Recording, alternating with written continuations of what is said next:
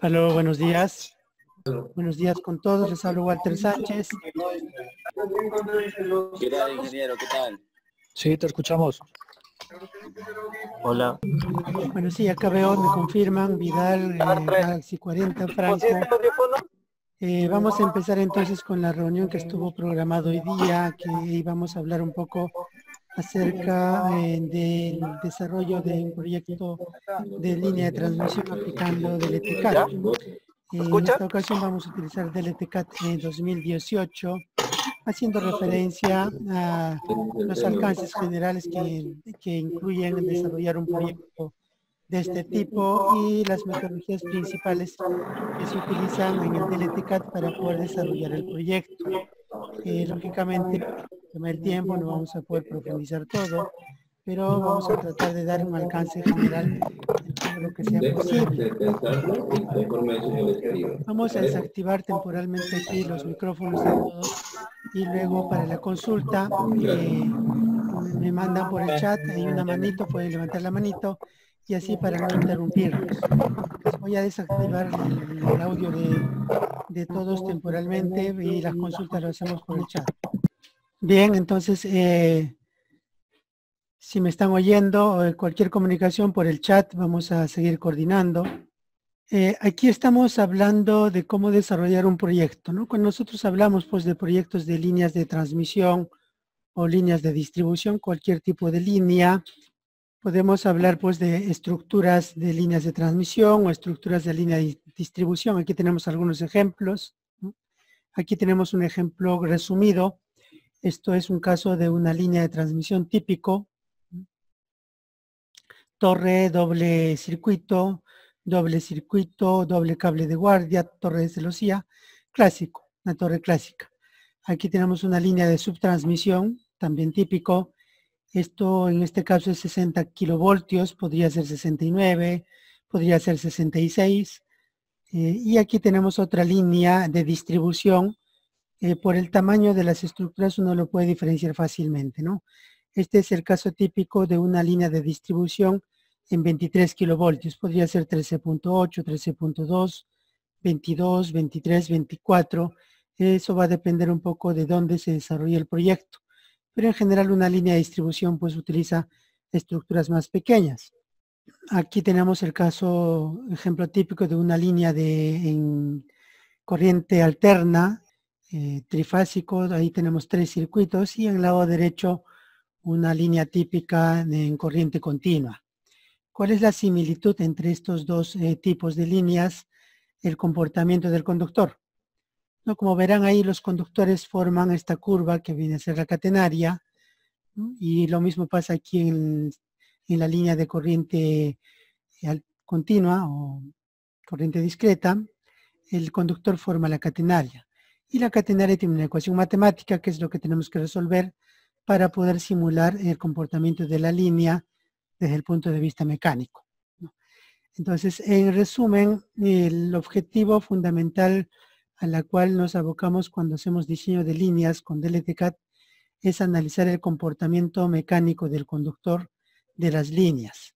Y como las ecuaciones matemáticas son las mismas, pues podríamos hacer líneas de corriente alterna, corriente continua, líneas de muy alta tensión, 500 kilovoltios, 750, líneas de 220 en subtransmisión, 138, 115, 60, en distribución 34.5, 33, 22.9, 10 KB. Entonces estamos hablando de todo el espectro de líneas que podemos desarrollar en nuestros proyectos.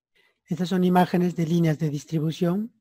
Esta imagen que está en el lado derecho es una línea típica 22 kilovoltios con norma DGE, una estructura tipo H. Eh, tiene una nomenclatura, en el caso de la DG esto se llama eh, PSH3 si hablamos de norma colombiana, de repente solo se llama SH3, dependiendo de la, de la empresa eléctrica. En Tolima tiene una denominación. Eh, si hablamos de Electricaribe tendrá otra denominación. Pueden ser estructuras similares, pero de acuerdo a la normativa de cada país o cada empresa eléctrica puede ser distinto. Los materiales también pueden ser distintos. Acá estamos hablando de una línea de distribución típico 24 kilovoltios Aquí ya estamos usando soportes de concreto, sección rectangular. Este modelo de estructura se usa mucho en Ecuador, Colombia, Brasil, Paraguay, eh, al norte en general Centroamérica. Más bien al sur, Perú, Chile, Argentina, usualmente eh, usamos estructuras eh, de sección circular, que podría ser madera, puede ser concreto, o los tubos plásticos, ¿no? que también se está usando ya bastante casi en todos los países. Este es otro ejemplo típico de una línea de transmisión. Aquí representamos ya una línea con postes de sección no tan circular, es típico octogonal, eh, postes metálicos que se usan mucho en líneas de transmisión. Eh, principalmente cuando no tenemos mucho espacio o entramos a las ciudades, entonces no tenemos mucho espacio para poder instalar torres de celosía y por lo tanto necesitamos algo más compacto y ahí entonces utilizamos eh, postes metálicos de sección tubular, vamos a llamarlo así. Eh, de hecho, la capacidad del poste hay que calcularlo según el requerimiento del proyecto. En general, eh, las líneas se pueden clasificar por grupos. Esta es una clasificación típica, no es la estándar a nivel mundial. Algunos países, por ejemplo en México, hasta 138 kilovoltios se llama subtransmisión. En el Perú, su transmisión llamamos hasta 69 kilovoltios. Entonces, pero casi en todos los países existe una clasificación de este tipo, ¿no? Distribución, subtransmisión y transmisión. La diferencia entre distribución, subtransmisión, transmisión, aparte del nivel de tensión, radica en los modelos de cálculo que tenemos que aplicar. Normalmente las líneas de distribución usan aisladores tipo PIN, o aisladores eh, poliméricos eh, pequeños, entonces no hay mucho desplazamiento de las cadenas. En cambio, si hablamos ya de estructuras de subtransmisión o transmisión, ya tenemos que utilizar cadenas de suspensión, como en este caso. Esta es una cadena de suspensión y noten que por efecto del ángulo que hay aquí, la cadena se va a desviar ligeramente con respecto al eje vertical. Y entonces eso hay que analizarlo, eso se llama oscilación de cadena. Esto se produce normalmente en líneas de transmisión que usan cadenas de suspensión. puede ser a partir de 60, y 60 kilovoltios hacia arriba. En cambio, en líneas eh, de menor nivel de tensión, eh, no es imprescindible analizar la oscilación porque las cadenas son pequeñas y en todo caso el desplazamiento resulta ser mínimo o despreciable, sobre todo si usamos aisladores rígidos, aisladores tipo PIN. Entonces, ese es un caso típico de diferencia de de modelo de cálculo o de diseño que tenemos que utilizar cuando hablamos de distintos tipos de líneas, ¿no? entre transmisión, subtransmisión y distribución. En cualquiera de esas líneas, como verán ustedes aquí en la imagen superior, ya dijimos, forma esta figura que viene a ser la catenaria. El conductor suspendido entre las estructuras forma esta figura, ¿no? que es la catenaria. Y esa curva va a variar en función a las condiciones ambientales porque nosotros ah, podemos hacer el tendido de repente con un esfuerzo de tendido. Vamos a suponer que le aplicamos mil kilos de tensión horizontal en el tendido. De repente 18, 20% del tiro de rotura puede equivaler eso. Eh, pero después que hacemos el tendido en el tiempo, las condiciones ambientales en este lugar van a variar y eso va a depender de dónde está ubicado el proyecto. Si nos vamos a la cordillera de los Andes, pues esto la temperatura puede ser eh, menos 10 grados, menos 20 grados, menos 30 grados de repente en las condiciones más críticas de temperatura baja, en el invierno crudo. Pero si nos vamos a la zona ecuatorial, o digamos en Guayaquil, o nos vamos hacia Colombia, la zona Bogotá, Medellín, el Caribe, esas condiciones ambientales no existen. Las mínimas temperaturas probablemente lleguen a 10 grados, ¿no? 15 grados, en ese rango más o menos. Entonces, eh, las condiciones ambientales dependen del lugar. ¿no? Lo mismo si hablamos de la condición de máxima temperatura. o Si nos vamos a las zonas altoandinas, digamos vamos a ir a la zona de La Paz o a los Andes en la zona de Chile, pues las condiciones de máxima temperatura y en plena radiación solar probablemente lleguen a 20, 25 grados. ¿no? Y nuevamente si volvemos hacia el norte, nos vamos hacia Centroamérica, México las máximas temperaturas ambientales probablemente llegan a 35 hasta 40 grados inclusive. No, lo que sucede incluso en la selva del Perú, por ejemplo, ¿no? Iquitos, Pucallpa, en las condiciones de máxima temperatura o hacia el lado del Amazonas, hacia Brasil, pues llegan a temperaturas bastante altas. Esas son las condiciones ambientales que hay que tomar en cuenta para poder analizar la línea. Entonces, la figura que aparece en la parte inferior no es la catenaria en una condición. Cuando cambia esa condición, esta catenaria puede estar más arriba o puede estar más abajo. Entonces, si la catenaria sube, significa que la temperatura ha disminuido o que ha aumentado las tensiones en los extremos del conductor. Entonces, si aumenta las tensiones en los extremos del conductor, pueden pasar dos cosas. Que el conductor eh, esté, digamos, trabajando a mayor tensión y podría eventualmente superar su coeficiente de seguridad. Y a su vez, esa tensión lo va a transmitir a la torre o a la estructura. Entonces, la estructura podría tener problemas si es que superamos su capacidad o su límite de operación. Ahora, si la temperatura aumenta, usualmente disminuye la tensión en el conductor entonces se disminuye la tensión y aumenta la flecha. Y si aumenta la flecha, el riesgo es que caiga el conductor excesivamente, de manera que ya no cumpla con las distancias mínimas de seguridad al nivel del suelo. Y entonces ahí tenemos que evaluar las distancias mínimas de seguridad al nivel del suelo o a los elementos que se encuentran al nivel del suelo, que puede ser carreteras, ríos, elementos que cruzan la línea, redes de baja tensión, postes que existan. Pues, todos esos análisis los vamos a desarrollar en función al comportamiento del conductor. Eso es lo que tenemos que hacer aplicando el DLTCAT. En esta versión, en esta ocasión, vamos a hacer referencia al DLTCAT versión 2018. Ya pronto vamos a estar publicando la versión 2020. Vamos a ver si hacemos un curso introductorio corto pero ahora vamos a hablar de la versión 2018, que es la que está vigente en este momento. Una de las características interesantes de esta, de esta versión es que podemos definir configuraciones por cada país, por cada norma técnica. ¿no? Hemos hecho referencia a que podemos trabajar con distintos niveles de tensión, estructuras distintas de acuerdo a cada país o cada normativa. Los conductores pueden ser distintos según la normativa de cada país o la tendencia de uso o puede ser por el nivel de tensión. Las condiciones ambientales pueden variar también de acuerdo a cada país o de acuerdo a cada zona. Por ejemplo, si nos vamos a Colombia, la zona del Caribe, Electric Caribe tiene zonificado las condiciones ambientales para cada eh, provincia, ¿no? por provincias o por departamentos. Entonces las condiciones ambientales están definidas. Lo mismo si nos vamos a México, la CFE establece normativas o condiciones ambientales por cada zona.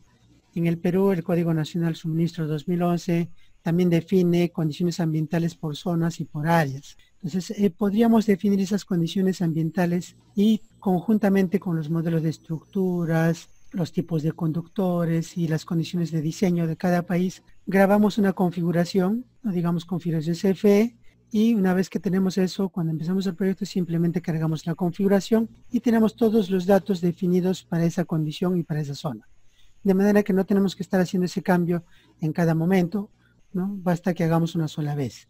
A eso se refiere cuando definimos configuraciones, ¿no? Configuraciones por país o por normativa. No, adicionalmente podemos asociar esa configuración al país con su división política, o sea, el departamento, provincia, o sea, la provincia, el cantón, de acuerdo a la, a la forma de división de cada país. De manera que cada normativa define dónde trabajo, en qué lugar y toda la información que voy a reportar va a estar basado, referenciado a la ubicación geográfica del proyecto. Entonces, es una de las características del DLTCAT. Bueno, entonces, para empezar nuestro proyecto necesitamos información. Ya hemos hecho una eh, presentación genérica de qué cosas son las líneas, cómo se trabaja, qué cálculos que tenemos que hacer y qué elementos fundamentalmente empleamos. Entonces, para empezar a hacer eh, uso del software para el diseño de la línea, necesitamos datos de entrada. Los datos de entrada lo podemos clasificar en estos cinco grupos generales. Primero es la topografía. La topografía. Entonces, eh, la topografía es la información que obtenemos de campo. Si es un proyecto de estudio de prefactibilidad, probablemente hagamos un trazo en Google, traemos el archivo KML y lo podríamos cargar al programa. Pero si es un proyecto de estudio definitivo, además de hacer un trazo preliminar en Google, tenemos que ir a campo y hacer un levantamiento topográfico in situ. porque ahí es donde conocemos realmente cómo está la zona, qué elementos existen, si los niveles son reales, etcétera, ¿no? Porque el Google nos puede dar información aproximada, entonces un proyecto definitivo o un proyecto para construcción tiene que tener un nivel de precisión mucho mayor, por lo tanto hay que hacer el trabajo de campo. Entonces la información que traigamos de campo normalmente va a venir en coordenadas X y Z o coordenadas UTM, ¿no? o sea, este, norte, de altitud. Cuando digo coordenadas X y Z, puede ser este, norte, altitud, pero no está referenciado a una zona UTM en particular, ¿no? Pero si hablamos de UTM, estamos hablando ya UTM absoluto, calculado considerando la zona de ubicación o la zona UTM o el sector UTM. Entonces, esa es una data que normalmente ahora trabajamos en coordenadas X y Z. El KLM o el archivo que cargamos de Google viene en coordenadas geográficas, o sea, altitud, perdón, longitud y latitud. Eh, es el formato del archivo. Entonces, cuando uno carga el software, convierte las coordenadas geográficas automáticamente a coordenadas UTM. Entonces, finalmente el software dentro de su entorno de trabajo va a trabajar en coordenadas UTM coordenadas X y Z. Los formatos antiguos de diseño de línea traían datos en coordenadas XZ, o sea, solo el perfil, el perfil calculado. Igual esta versión puede recuperar esa data ¿no? y lo convierte también a coordenadas X y Z. Una vez que lo carga, lo convierte a coordenadas X y Z, pero coordenadas relativas, con una referencia. Entonces, si uno quiere puede corregir y dar una referencia para aproximarse a un valor absoluto, partiendo del XZ. Los otros datos son las geometrías, o sea, los modelos de estructuras, los demás son los conductores, tenemos conductores de distintos materiales, condiciones ambientales, y a lo que dijimos, las hipótesis del proyecto se definen en función a las condiciones ambientales y las características generales del proyecto. Entonces, cuando hablamos de características generales, estamos hablando de si es una línea de distribución, cuál es el nivel de tensión, si va a ser simple circuito, si lleva cable de guarda, entre otros temas. Hacer una reseña rápida y luego hacemos una aplicación práctica con el programa. Entonces, cuando cargamos los datos, cargamos los datos en coordenadas X y Z al software. Ahí tiene una opción para cargar. directamente lleva el software en coordenadas X y Z y lo grafica en vista de planta hay que tener en cuenta que de acuerdo a la zona donde está cada punto pueden haber distintas zonas en el grupo de datos que obtenemos. Entonces cuando carguemos la data hay que tomar en cuenta de la zona, la zona UTM. Acá por ejemplo tenemos estos puntos en la zona 18 y estos puntos que pertenecen a la misma línea en la zona 19L. Es la misma línea, la distancia de este punto a este punto será 20, 30 metros, pero como cambiamos de zona UTM, las coordenadas absolutas tienen un valor totalmente distinto. Para corregir estos valores, el software trabaja con el sistema WGS84, que es el sistema que se está usando mayoritariamente a nivel mundial. Incluso el Google tiene pues como sistema fundamental el WGS84. Eh, entonces, una vez que uno quiera carga esta data y quiera hacer la corrección, tiene que escoger aquí la opción WGS84 para, para que el software haga la corrección de, estos, de estas coordenadas y los lleve a un solo plano para poder hacer los cálculos. Porque si bien como coordenada UTM tiene una coordenada de este tipo, pero para el cálculo tenemos que llevarlo a un solo plano. Si es que no lo llevamos a un solo plano, pues, como si fuera un sistema relativo, y lo cargan esto tal cual, lo que va a pasar es que los datos se van a graficar de esta manera, una parte en una zona y otra parte en otra zona. ¿Por qué? Porque el software dentro de su pantalla de trabajo utiliza una zona, una sola coordenada XY, un sistema de coordenadas eh, XY único, entonces lo va a trabajar todo como si fuera así. Por eso que es necesario que los datos sean trasladados y esa traslación lo hace el software automáticamente cuando seleccionamos la opción WGS84. Entonces, si hacemos esa corrección, este es el otro caso, cargamos la data, esto puede cargarse de Excel o de un archivo texto, esto ya es una ventana interna del software. Entonces aquí seleccionamos la opción WGS84 y el software lo traslada y lo grafica los puntos ya en un solo plano. Aquí ya todos los puntos están continuos. Esta es la pantalla, una vez que uno carga los datos, está en punta, en vista de planta, esta es la pantalla que nos permite definir la ruta de la línea. Entonces aquí vamos a hacer el trabajo de trazo de ruta de la línea. Este ejercicio lo vamos a aplicar aquí, este es el DLTCAD. Aquí noten tenemos varios archivos, esos archivos son archivos en Excel. Entonces este es el formato de datos que estamos hablando de la topografía, X, Y, Z. Z es la altitud o la cota y la zona UTM que, tiene que ser utilizado si es que trabajamos en coordenadas absolutas. Además de esos datos, eh, necesitamos eh, alguna información adicional si es que queremos automatizar nuestro trabajo.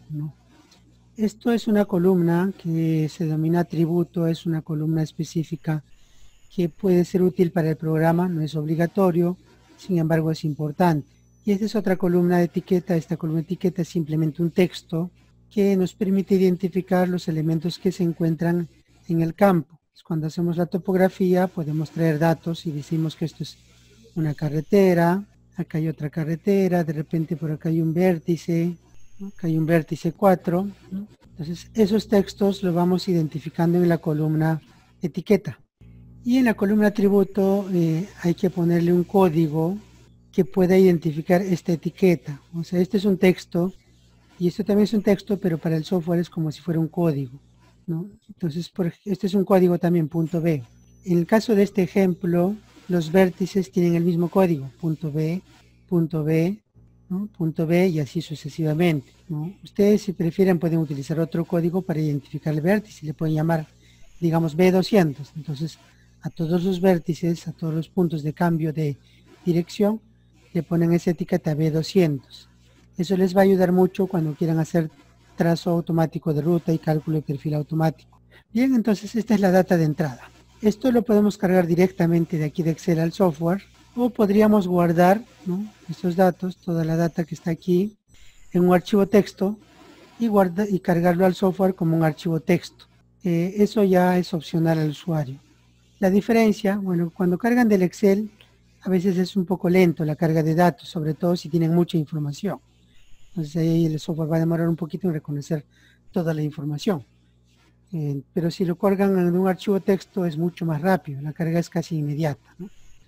Para este caso vamos a utilizar entonces datos del Excel. Aquí está el archivo este que estamos observando, ejemplo LPXYZ. En este caso, bueno, no demoró mucho, no hay mucha información aquí, creo que son algo de, tenemos 500 puntos aproximadamente, pero si tuvieran 5.000, 10.000 puntos, ya van, van a notar que demora un poquito la carga de datos. Perdón, aquí nos hemos equivocado. Acá hay un problema. Noten que aquí dice este norte altitud.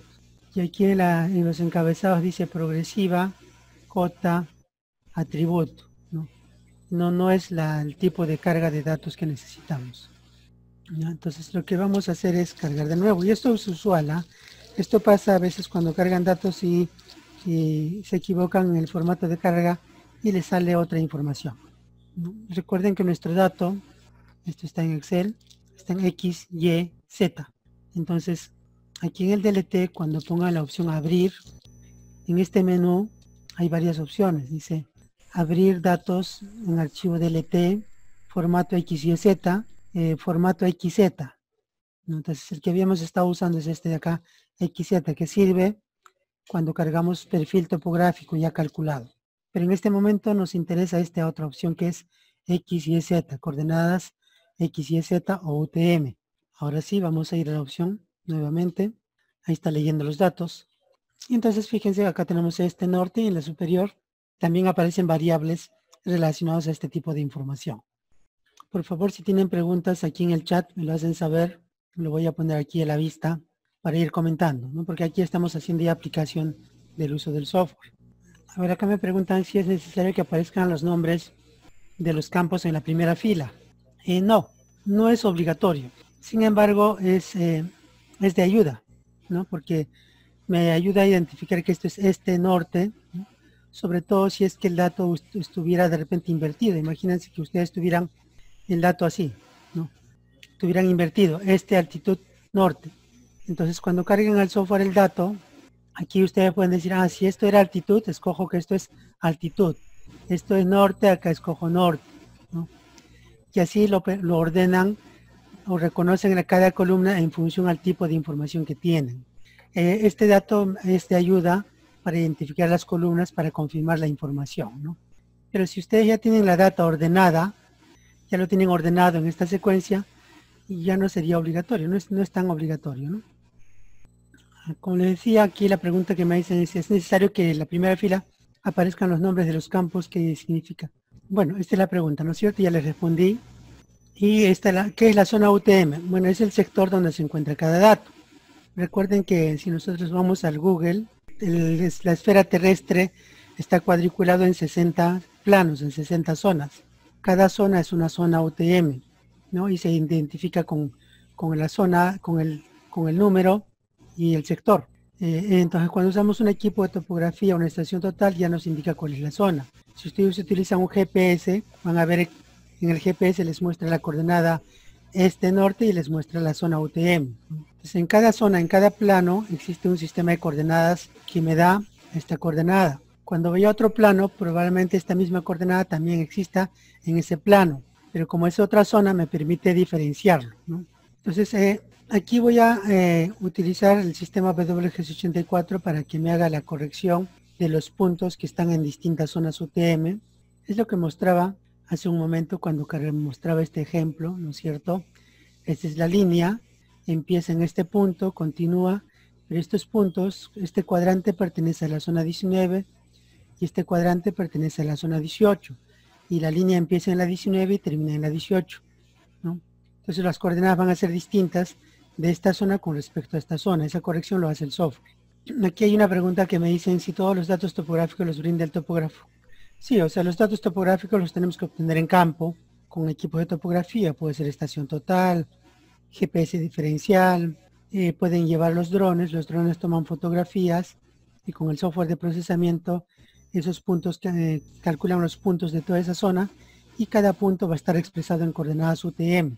Esa data sí viene de campo. Como decía al principio, podría ser una data que lo capture de Google, pero no es muy exacto, ¿no? Acá me hacen una pregunta con cuál equipo será más preciso los datos. Bueno, eh, lo que pasa es que el GPS manual que usamos es un GPS navegador, no es un GPS, no es un equipo de medición, ¿no? No es de alta precisión. Entonces, con eso yo puedo capturar puntos aproximados que tienen márgenes de errores apreciables, tanto en coordenadas como en altitud. eso me puede servir para ubicar un punto y visualmente ubicarlo, pero para hacer cálculos no es muy recomendable. Entonces tiene que ser un equipo tipo GPS diferencial que tiene una precisión de centímetros o una estación total, ¿no? previamente calibrada, lógicamente. Bien, entonces seguimos aquí, he capturado los datos, ya tengo la vista en planta. Estos son los datos en vista de planta. Estos son puntos topográficos. Aquí todavía no hay perfil, no hay línea. Cada uno es un punto. Aparentemente todos están alineados, pero no necesariamente tienen que estar alineados. Cuando trabajamos en campo, sobre todo en zonas de vegetación, pues es casi imposible que podamos trazar una línea recta y tomar puntos en el eje de, esa línea. Pues usualmente hay una desviación, ¿no? porque el topógrafo camina en el lugar, se desvía ligeramente a la derecha o a la izquierda, pero la idea es que siga esa recta con la mejor aproximación posible y va capturando los puntos en el lugar. Y para poder corregir esos desplazamientos o los offsets con respecto al eje se utiliza un cálculo por franja utilizando un margen de error. Y para eso, sobre esta información, lo primero que hay que hacer es calcular el eje de la línea o trazar el eje de la línea. Y ahí utilizamos esta opción que se llama trazar ruta automático. Precisamente aquí tenemos los atributos que usa el software. Entre ellos está este atributo .b, que recuerden que cuando cargamos los datos aquí para los vértices, le habíamos asignado los vértices. Entonces lo que estoy haciendo aquí es filtrar o listar los puntos que tienen este código o este atributo .b. Como yo le puse punto .b a los vértices, lo que estoy haciendo es mostrar la lista de vértices de una manera indirecta. ¿Para qué me va a servir esto? Me va a servir para seleccionar el punto de inicio de la línea, de manera que el software pueda hacer el trazo de ruta. A ver, acá tenemos consultas. Steven, Daniel, Brian, Ruiz, Vargas. A ver sus consultas, lo pueden mandar aquí al chat, por favor. A ver, la pregunta dice, Daniel, disculpe, ¿qué función cumple el offset en el software del ETCAT? Hay dos elementos aquí, ¿no? El offset que estaba haciendo referencia se refería a la topografía. O sea, cuando digo que tengo un eje de línea, los puntos pueden estar ligeramente a la derecha o a la izquierda de ese eje, digamos a medio metro o un metro, ¿no? Ese es el desplazamiento. Entonces yo podría decir, yo voy a trabajar con todos los puntos que están hasta un metro de la derecha. Entonces sería el offset, o sea, un metro, el margen de error. Eh, en cambio hay otro concepto de offset cuando hacemos cálculo de conductores, ya para el cálculo de la tabla de flechados. Ahí hablamos de, de corrimiento de conductor. Ahí eso lo podemos comentar en otro momento. Entonces, en general en el DLTCAD vamos a hacer referencia de offset en dos puntos. Uno en la topografía, que es que estamos hablando ahora, y el offset del, corrimiento del conductor que ya en la fase de tendido. Eh, ahora con el ejemplo vamos a aclarar un poco más este tema del offset. ¿Cómo aplicamos las hipótesis del cálculo por zona? Ahí lo vamos a ver cuando hagamos la aplicación del diseño, cómo aplicamos eh, las hipótesis por zona.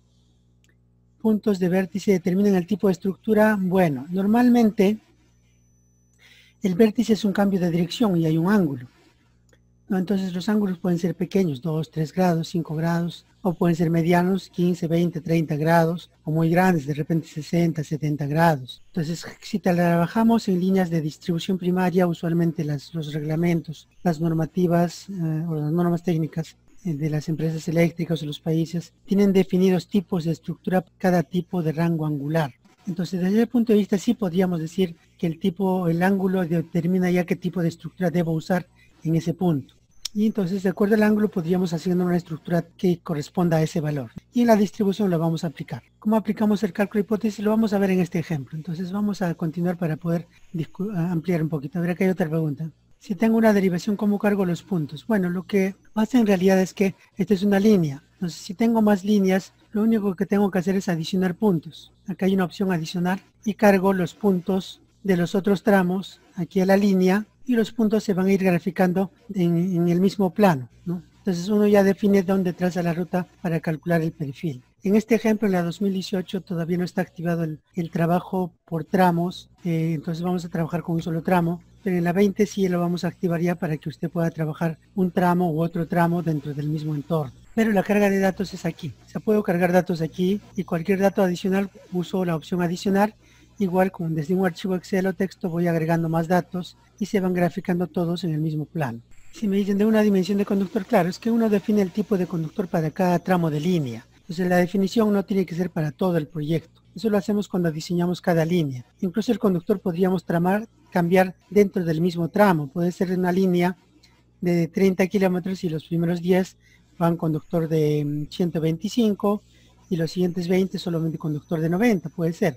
Entonces todo eso ya se hace en el diseño. Bien, vamos a terminar el trazo aquí. Vamos a usar el trazo de ruta. Voy a definir el punto de inicio, por ejemplo, un punto cero. Y entonces aquí el software calcula o define el eje de la línea. Acá hay una línea, el eje central, y esta franja es lo que llamamos el offset topográfico o el margen de error. Y fíjense que acá hay un punto que está fuera del eje. Y así hay varios puntos. Este, otro punto fue está fuera del eje, no está exactamente en el eje. Entonces el software lo que va a hacer es proyectar todos estos puntos al eje, todos dentro de esta franja, dentro de eso, de ese rango o margen de error. Aquí el software tiene esta opción. Acá, por ejemplo, está trabajando con un margen de error de 2 metros. Entonces yo puedo decir, voy a ajustar eso a un valor más pequeño entonces lo ajusto a un margen menor, un margen de un metro, o lo podría ampliar. Entonces eso va a dependería del criterio del diseñador. Si hablamos de zonas planas o semiplanas, podríamos ampliar tranquilamente el margen a 2, 3 metros, porque las cotas por las altitudes son prácticamente iguales en todo ese margen. En cambio, si estuviéramos eh, trabajando en, zonas de, de sierra o donde hay laderas fuertes, eh, no es muy recomendable que esta franja sea muy amplia porque si no eh, las cotas van a ser distintas y vamos a tener datos distintos, ¿no? A ver, acá hay una pregunta, ¿cómo se carga del Google? Hay una opción aquí, bueno, en realidad en esta versión tenemos que tener los archivos ya calculados con todos los puntos en Google. Entonces, cuando hacemos la opción, acá hay una opción que dice calcular KML y simplemente cargamos el archivo KML y el software reconoce todos los puntos. Ahora, ¿cómo se carga? De repente la pregunta que viene es cómo trazar la ruta en el Google y cargarlo. No, lo podríamos hacer en otro ejercicio para no salirnos, pero sí se puede hacer eso con el programa, ¿no? Acá hay una pregunta, ¿cómo cada punto número representa la estructura poste? No, cada punto no necesariamente representa el punto donde va a ir una estructura. El, cada punto es un perfil topográfico y luego ya en el diseño nosotros podemos ver la mejor opción de colocar la estructura en el punto más adecuado. Y eso lo vamos a hacer en, en los siguientes pasos. ya tenemos aquí el eje del perfil y con esta opción calculamos el perfil topográfico y aquí tenemos la vista en corte. Esos son los puntos que probablemente hemos tenido en campo, esos puntos que aparecen con línea. Pero el perfil topográfico toma esa forma y nosotros podríamos ubicar las estructuras en cualquier parte de este perfil. Esa es la idea del diseño. Acá me hace la pregunta si se puede visualizar la franja de servidumbre. Se puede visualizar la vista en planta y se puede exportar la línea en vista de planta. Pero cuando hablamos de servidumbre específicamente ya hablamos de detalles de terreno, propietarios. Entonces, en el software también podríamos colocar los tipos de terreno, poner nombres y exportarlo con esa información. Pero no es que determine el área de servidumbre, por ejemplo, que es otro tema, ¿no? Bien, entonces aquí hemos hecho la, la, mm, el cálculo de perfil topográfico, entonces vamos a utilizar ahora las opciones para hacer la distribución de estructuras y cómo hacemos la parte siguiente del diseño. Una vez que tenemos el perfil, lo que sigue es definir las estructuras, los conductores, las condiciones ambientales que me preguntaron en otras ocasiones, y ahí vamos a hacer la distribución de estructuras. Aquí hay otra pregunta. ¿Las coordenadas no representan la ubicación de las estructuras finales? No necesariamente. No es necesario tampoco. las coordenadas son simplemente la, información de cómo es el recorrido de la línea. Ahora, si desean, podrían hacerlo también. ¿no? Algunos ah, quieren tomar en campo dónde quieren colocar la estructura. Puede ser. Pueden marcar como un atributo para asegurarse, yo quiero que en tal punto vaya una estructura. Le ponen una etiqueta y al momento de diseñar se aseguran de colocar una estructura en ese punto. Podría ser, pero no es imprescindible. Entonces vamos a continuar aquí. Estamos trabajando en este ejemplo con norma de G. Vamos a cargar la norma de G. Ahí están datos de la norma de G. Vamos a aplicar al proyecto. Está relacionado con todos los elementos. Entonces voy a ir aquí a estructuras y voy a eliminar todos estos elementos. Estos también porque pertenecían a otra, a otra reglamentación y voy a cargar ahora elementos que pertenecen a la norma de G, que es el que estoy usando. Por ejemplo, esta línea va a ser una línea trifásica típica. Vamos a cargar los elementos más conocidos. Lo que estoy haciendo es seleccionar las estructuras típicas que vamos a emplear en el proyecto. Pueden haber otras también, lo podemos agregar en cualquier otro momento, pero vamos a cargar en este momento los más conocidos, los más básicos. Los de suspensión, ángulo pequeño, ángulo mediano, ángulo grande, retención, Voy a cargar estructuras tipo H. Ya está. Bueno, suficiente por ahora. Lo mismo hacemos con soportes. Digamos que vamos a trabajar con soportes de concreto u hormigón. Postes de 12 metros, 200 kilos y 300 kilos de carga de trabajo para poder combinarlos. Noten que para este proyecto ya recuperé datos de estructuras y soportes que voy a aplicar en el proyecto. Si necesito algún otro, lo puedo, puedo agregar en cualquier otro momento. Lo mismo hacemos con conductores que hay una lista de conductores que eran de otra normativa, lo voy a depurar y voy a agregar los conductores que están de la norma de G. Fíjense que acá, al momento de seleccionar la configuración, ya me muestra la lista de los conductores de la DG que ya está reducido.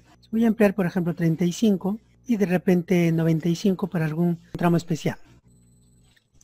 Puestas a tierra, igual podríamos cargar todos los elementos. A ver, voy a agregar los tipos de puesta a tierra de la norma de G, los tensores todos los tipos de puesta a tierra, todos los tensores los estoy agregando, fundaciones típicas, tabla de obstáculos, aquí está ya la tabla de obstáculos relacionados con el nivel de tensión que estamos trabajando. Lo que he hecho aquí es seleccionar los elementos para nuestro proyecto, estructuras, soportes, conductores, que habíamos dicho al principio que eran necesarios. Y con eso vamos a empezar nuestro proyecto, pero antes de empezar tenemos que definir algunos datos que nos faltan. Dijimos que para nuestro proyecto necesitábamos perfil del terreno, estructuras, conductores. Todo esto acabamos de cargar. Condiciones ambientales o las zonas de hipótesis y características generales de la línea. Vamos a definir estos elementos. Entonces, aquí en configuración se definen las características generales de la línea. Si aquí, por ejemplo, voy a seleccionar una línea, a ver, configuración de G,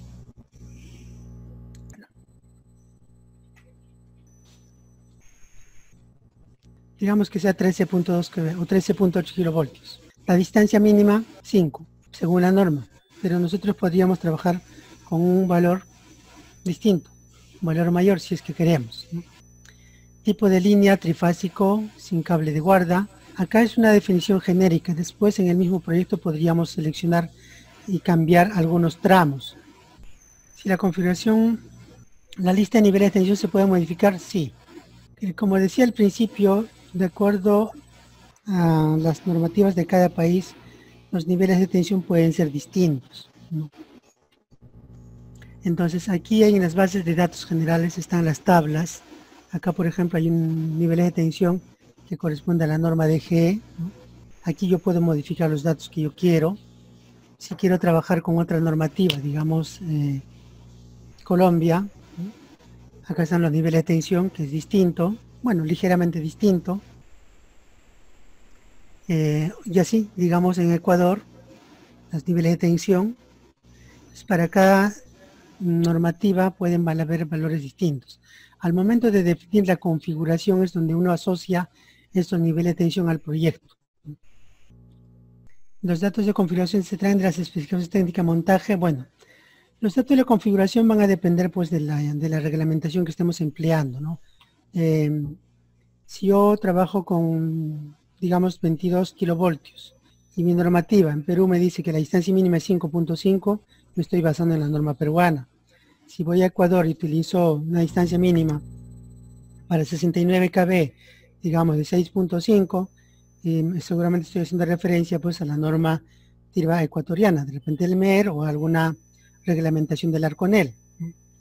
Igual si me voy a Colombia, cada empresa eléctrica tiene una reglamentación técnica o requerimientos mínimos técnicos, entonces, y hay un reglamento nacional RTE. Entonces, en función a eso es que vamos definiendo los datos de configuración. La mínima del terreno corresponde a la catenaria mínima.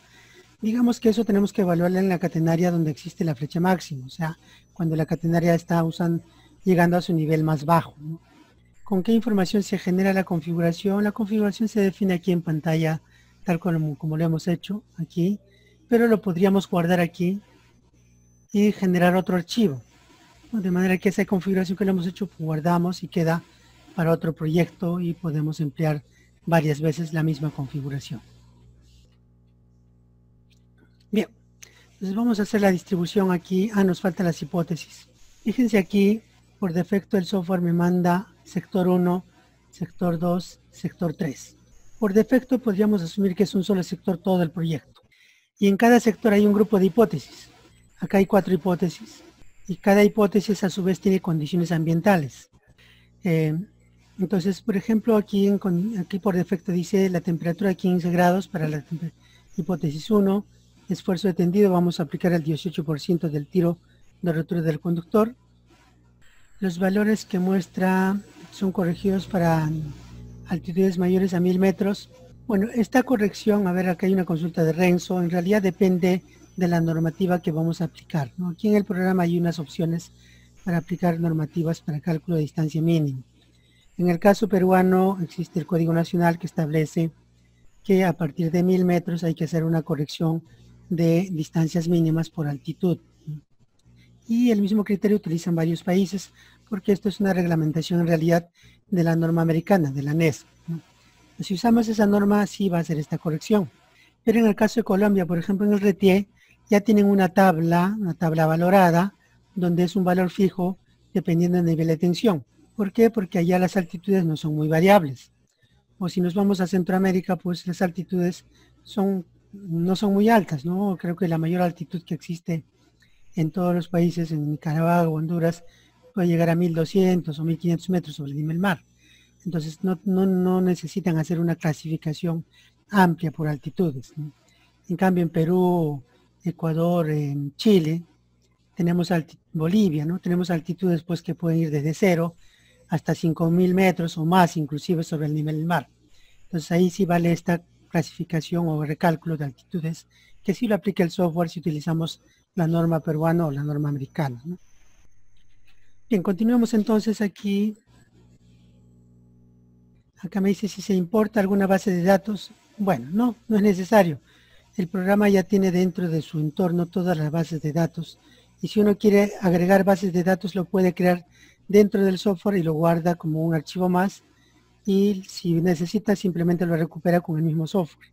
¿no? Son archivos que están aquí en bases de datos. ¿no? Por ejemplo, voy a ir a estructuras. Aquí estoy viendo la base de datos de estructuras de la DG. Yo quiero otra base de datos, vamos a abrir otra base de datos. Digamos, aquí tenemos una base de datos de estructuras eh, CNL, que es típico para Ecuador. Modelos de estructuras en torres y soportes sección rectangular para líneas de 69 kilovoltios. Eh, aquí hay otra base de datos, a ver, por ejemplo, para CELPA, una norma brasilera. Ahí están los modelos de estructuras. Entonces el software puede manejar múltiples bases de datos. Sin embargo, si uno quiere crear una base de datos nueva, puede crear aquí eh, con la opción a cargar datos de Excel hay un formato en Excel. En otra sesión de repente podemos hablar específicamente de estas aplicaciones en particular. Eh, entonces podríamos cargar de Excel toda la data de un formato, lo volcamos al software y lo guardamos como un archivo con extensión DAT y queda ya como un archivo de base de datos dentro del software. Eso se hace una sola vez y después ya queda para cualquier proyecto futuro. Bien, vamos a, el tiempo nos gana, eh, aquí la charla está programada para una hora, porque claro, nos podríamos quedar todo el día, pero la idea es que hagamos una presentación rápida. Vamos a programar, eh, esta es una primera presentación que es una presentación general. Vamos a ir programando semanalmente charlas específicas sobre aplicaciones puntuales. E incluso vamos a hacer publicaciones de ver qué temas les interesaría a los usuarios que tratemos en las siguientes charlas. Por ejemplo, de repente como alguien me preguntaba hace un momento, cómo cargar los datos del Google Earth. podríamos ver una sesión exclusiva para ver cómo cargamos datos de Google Earth. Otra sesión podríamos ver, como el que me están haciendo aquí, cómo creamos una base de datos externa en el software para crear mi propia base de datos. Entonces eso lo vamos a ir haciendo paulatinamente a partir de esta semana. Cada semana vamos a ir publicando nuevas presentaciones de aplicaciones puntuales. Eh, esta es una primera presentación, así es que eh, de hecho, aquí no podemos tratar todo. El software tiene muchas opciones. En un curso clásico hacemos en 24 horas de curso y no nos alcanza tiempo para hablar de todos los temas. Así es que quiero darles una idea general y para eso voy a tratar de terminar este diseño y explicarles algunas aplicaciones adicionales. Entonces decíamos que definimos las condiciones ambientales aquí. Vamos a trabajar con un sector. Si yo quisiera generar varios sectores, lo primero que tengo que hacer es definir las hipótesis. Por ejemplo, aquí yo quiero trabajar con un solo sector. Voy a eliminar todo y tengo un solo sector. Y en un solo sector voy a agregar una hipótesis. Ya tengo cinco hipótesis. Acá ya hay valores predefinidos. Puedo modificarlos según el requerimiento de mi proyecto. De repente esta hipótesis que acabo de crear voy a llamar hipótesis de viento medio, por decir un dato. Y de repente aquí el viento es pues 50 kilómetros por hora, viento medio, y un esfuerzo máximo de 40%, por ejemplo. Ya está. Entonces lo que he hecho aquí es crear hipótesis para un sector. Cinco hipótesis. Si en mi proyecto tengo varios sectores, un proyecto de 100 kilómetros de línea, voy a agregar otro sector. Ya está, tengo dos sectores, sector 1, sector 2. Entonces, en el sector 2 también se han replicado las cinco hipótesis. Pero yo puedo ir acá al sector 2, a la hipótesis 1 y cambiar el esfuerzo tendido, digamos 16%, y el viento de repente que ya no es 70, sino 90, y la mínima temperatura de repente ya no es menos 5, sino menos 10, y así voy definiendo las condiciones ambientales de las hipótesis de este sector 2. Ahora, claro, ya tengo las hipótesis. ¿Cómo asigno al proyecto? Aquí en definir límites, vamos a guardar. Aquí hay una opción que dice definir límites. voy a hacer un caso típico de este proyecto. Digamos desde el X, desde el punto 0 hasta el punto... Fíjense aquí el proyecto tiene 13.8 kilómetros. Entonces aquí le voy a poner hasta el kilómetro 6500, 6.5, desde altitudes de 3000, desde altitudes de 3000 hasta 4.500. Y aquí desde 6.500 hasta 14.000, que cubre todo. No tiene que ser exacto, solo es un rango. Y desde 3.200 hasta 4400. Entonces lo que trato es de cubrir todo el rango del proyecto. Ya está. Y aquí podemos activar una opción de mostrar los sectores y fíjense, aquí el software está trabajando zona 1, sector 2. Cada zona tiene unas hipótesis, unas condiciones ambientales que lo acabamos de definir. Así es como se definen los sectores de hipótesis para un proyecto. Una consulta que me hacían por ahí. Entonces, al definir esto, cuando haga la distribución, el software va a hacer el análisis aquí con las condiciones de la zona 1 y acá con las condiciones de la zona 2. Y esto lo puedo hacer por longitud, por altitud, eh, puedo aplicar cualquier tipo de sectorización. Pueden ser dos, tres sectores, varios sectores, no hay problema. ¿Cuál es el icono para definir el sector? Ah, no, simplemente el sector se define acá en las hipótesis, solo que para que puedan ver gráficamente, aquí en este icono que dice configura gráficos, ahí aparece una opción que dice mostrar sectores de hipótesis. Habilitan esta opción y ya pueden verlo, ¿no? Si lo deshabilitan, no lo van a ver, pero el software igual ya está aplicando los cálculos por sectores. Bien, vamos a hacer la distribución de una vez para, poder terminar nuestra sesión, que es la parte final. para hacer la distribución de estructura vamos aquí a la opción datos por omisión. Hay que, confirmar la configuración de la línea. Definimos qué tipo de elemento vamos a aplicar por defecto. Vamos a usar la estructura de suspensión eh, con poste 12200. Vamos a distribuir, este es a fijo, no, vamos a distribuirlo de acuerdo a los criterios del perfil, ¿no? para que el software me ubique en el punto más óptimo según su propia recomendación y luego hacemos algunos ajustes. Y conductor 35 para el conductor de fase y ya está. Vamos a analizar esta línea. Si ustedes ven aquí están las catenarias y si uno cambia las condiciones ambientales, cambia la posición del cable. Está recalculando. Entonces, en este punto, por ejemplo, si yo veo esto en condiciones de flecha mínima o EDS, aquí aparentemente no hay problemas. Pero si cambiamos a flecha máxima, tenemos problemas de incumplimiento de distancia mínima de seguridad. Entonces, podríamos resolver esto desplazando este poste. Desplazamos este poste y elevamos la catenaria en ese punto y ya no tendríamos problemas de distancia mínima. Ese es uno de los análisis que se hace en un proyecto de línea de, proyecto de línea de distribución o transmisión. Aquí tenemos, por ejemplo, una carretera. Hay una carretera. Vamos a suponer que en este punto existe un elemento, digamos un poste. Y este poste tiene una altura de 10 metros sobre el nivel del suelo. Fíjense aquí, ya tenemos problemas porque este poste es bastante alto y no cumplimos con la distancia mínima de seguridad.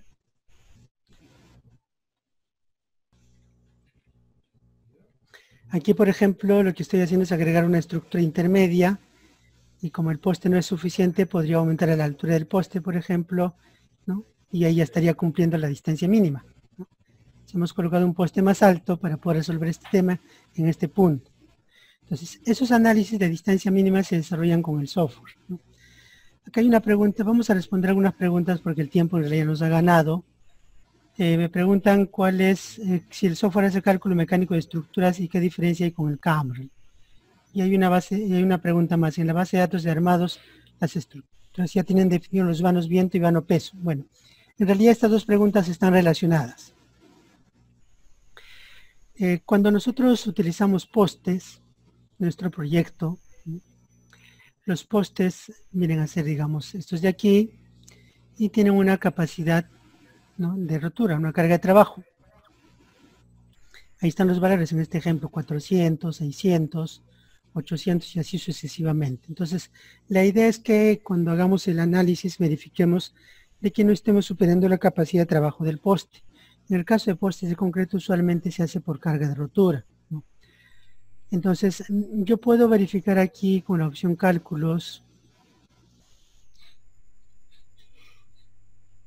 cálculos de estructuras, definimos la condición crítica que usualmente es la de máximo viento, y podemos verificar la condición de operación de cada poste. aquí estamos haciendo el cálculo de estructuras verificando la condición de operación de cada poste. Entonces acá, por ejemplo, para este poste nos dicen que estamos trabajando con un factor de seguridad 2.05, lo cual cumple, acá está en 1.37 y no está cumpliendo. Y hay bastantes puntos donde no se está cumpliendo. Tenemos una carga transversal excesiva y no se está cumpliendo con la carga transversal requerido para esos postes. Es una hipótesis de viento. En hipótesis de mínima temperatura no sucede lo mismo. ¿no? ¿Por qué? Porque ahí estamos hablando de carga longitudinal. En viento tenemos carga transversal y ahí tenemos problemas. Esto es cálculo estructural, pero el software lo que hace es esto, ¿no? un reporte de la condición de operación del poste no muestra detalles del cálculo propiamente, o sea, cuál es el límite, eh, cuál es la carga por viento, entonces esos límites no, lo analiza el DLT, simplemente muestra un resultado, que puede ser muy útil. Entonces, pero en otros casos, en lugar de hacer análisis de esta manera, hacemos análisis por prestaciones. Entonces, si yo quiero análisis por prestaciones, para lo que puedo hacer es antes de hacer ese análisis, verificar cuánto de vano viento soporta cada poste y hago la distribución con eso. Entonces en las bases de datos, aquí en estructuras,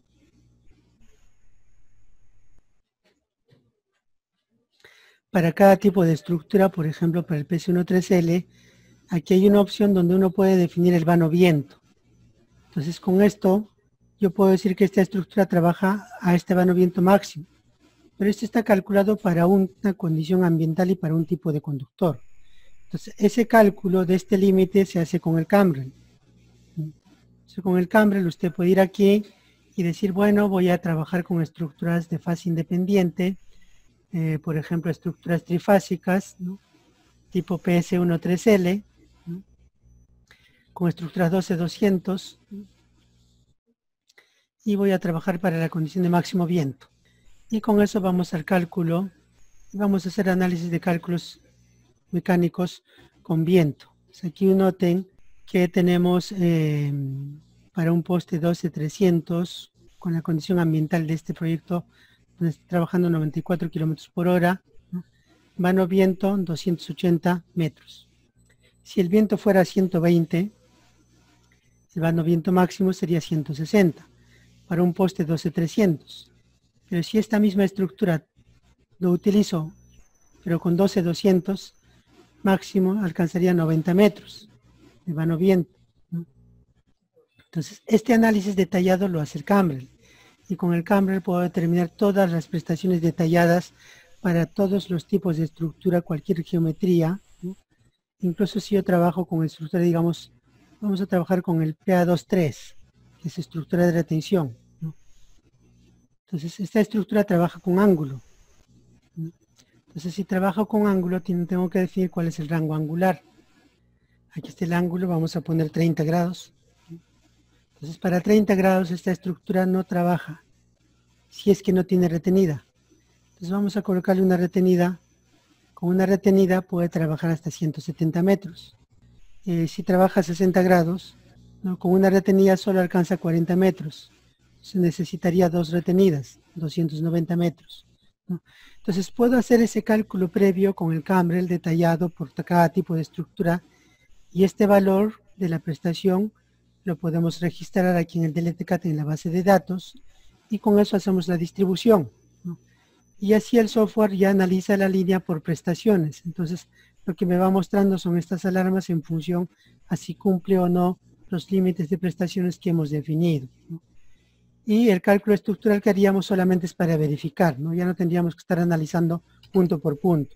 Entonces, esa es la diferencia que hay en el cálculo estructural que hace el DLT y el Cambrel. El Cambrel, de hecho, va a tener más opciones, va a poder conectarse directamente con DLT en la siguiente versión para poder hacer análisis del límite de operación cuando hay cambios angulares, cuando hay rangos de estructuras, cuando cambiamos el poste de la estructura, etcétera, etcétera. Bien, esa es la explicación un poco de la aplicación del Cambrel en el cálculo de estructuras. Tiene muchas más opciones el Cambrel, aparte de este cálculo.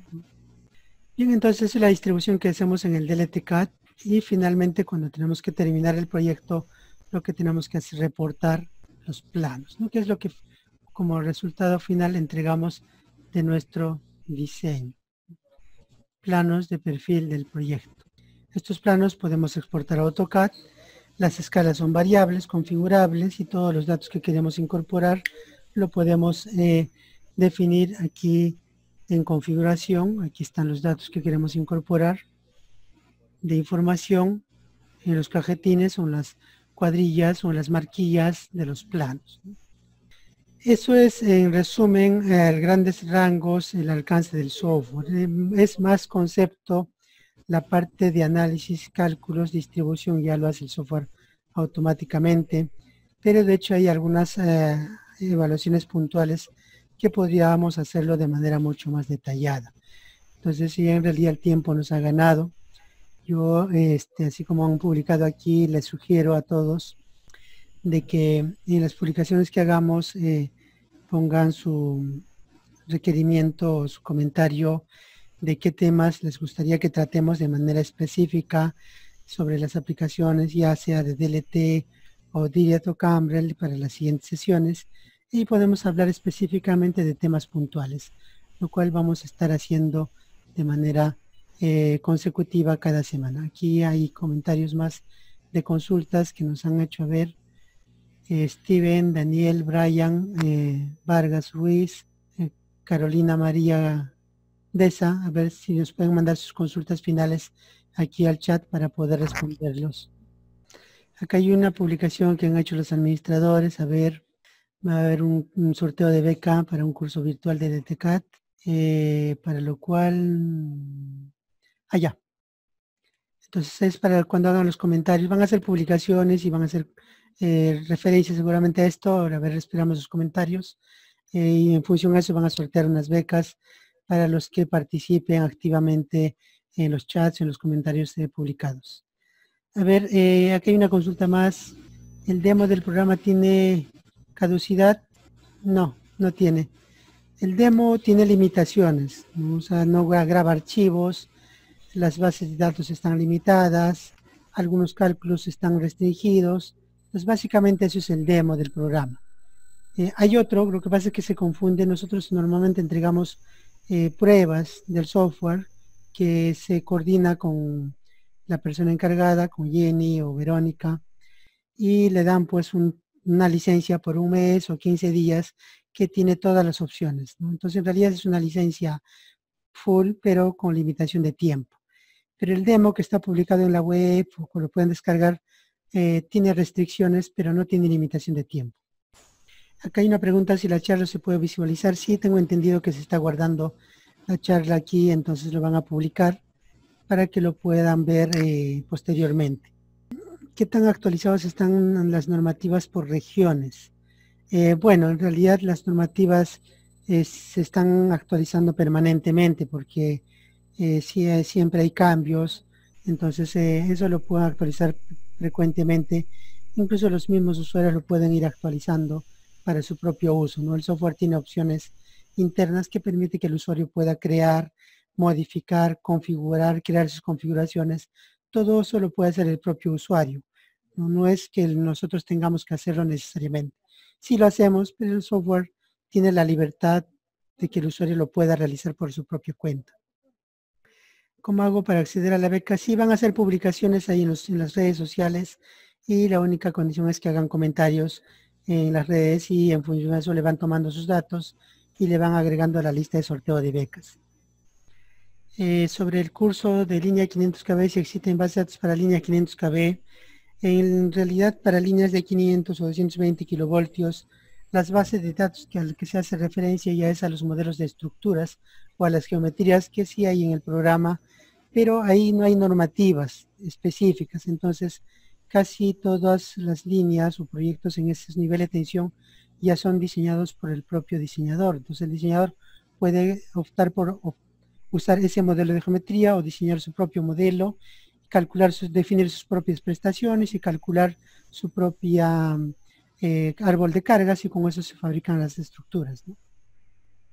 El video lo van a publicar y ustedes pueden acceder, seguramente van a publicar en las redes sociales de ABS Ingenieros, del ETCAT o DirectCAT y ahí ustedes pueden acceder y ahí van a poner la, el enlace seguramente para que puedan ver el video.